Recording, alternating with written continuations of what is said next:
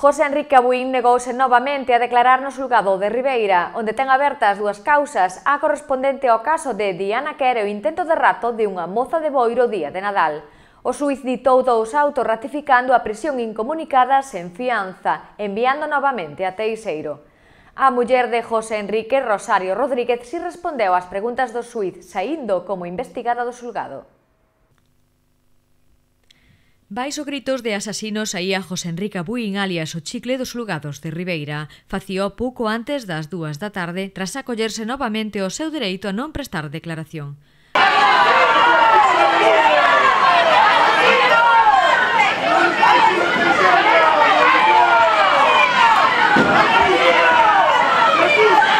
Cuidado, cuidado. A Bui chegaba ás 11 menos 20 da mañá ao xulgado, onde tiña dúas citas, a primeira no xulgado de Instrucción número 1. Ali era chamado a declarar en relación coa morte de Diana Kerr.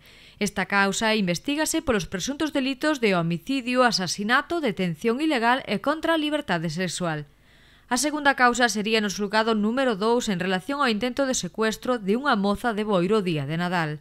Nesta causa é investigado por delitos de detención ilegal, roubo con violencia e intimidación, lesións e contra a libertade sexual. En ambos casos o chicle acolleríase ao seu dereito a non declarar. No caso de Diana Kerr manterá o silenzo ata que se coñezan os resultados da autopsia.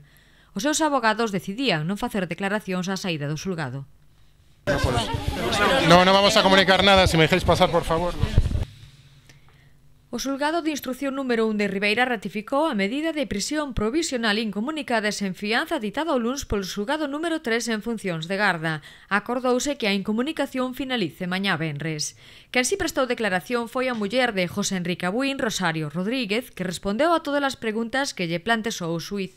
O suiz intenta averiguar se participou nos feitos ou só encubriu ao marido no caso de Diana Kerr. Rosario Rodríguez saía do xulgado ás 11:30 da mañá como investigada, pero sen medidas cautelares. O seu abogado ofrecía as condolencias á familia da vítima. Mais, o meus máis sentido pésame a... Eh, a familia de Pedro, eh, de, da nosa parte de todo o mundo, nada máis. Non vou decir nada máis. A chegada e saída dos xulgados agardaban dúcias de persoas que insultaron e increparon os dous investigados pola morte de Diana Kerr. Ambos os dous investigados saíron rodeados de amplas medidas de seguridade, formadas por unha veintena de asentes da Policía Nacional e varios asentes da Garda Civil. Os pais de Diana Kerr exercerán a acusación particular de forma consunta.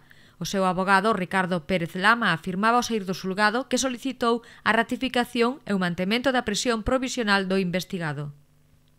Simplemente no ha declarado nada, es decir, se acogió a su derecho a declarar y aquí lo que hemos venido es a solicitar la ratificación y el mantenimiento de la prisión provisional que es donde le corresponde estar. Pendente queda agora a toma de declaración de dúas testemunhas familiares da parella que se prevé pasen polo xulgado nos próximos días.